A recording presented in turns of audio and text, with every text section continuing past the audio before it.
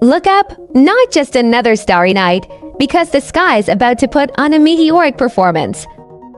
The Leonids are back. The annual Leonid meteor shower peaks overnight Sunday into early Monday, November 16th, 17, 2025. Here's the cool part. These meteors blaze through Earth's atmosphere at around 69 kilometers per second.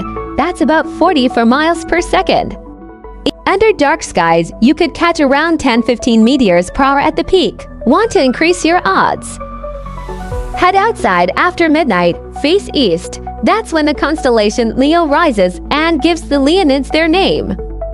Here's another advantage. The moon will be a thin 9% illuminated crescent, so it won't wash out the show.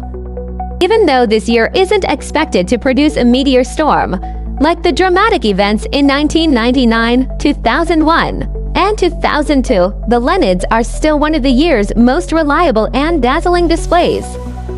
Plus, it's not just about the meteors themselves. The Leonids are debris from comet Tempel-Tuttle, giving us a direct connection to the solar system's past.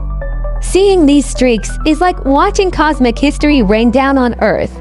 So bundle up, head out, look up, and maybe make a wish when one of those blazing bits of space dust streaks past.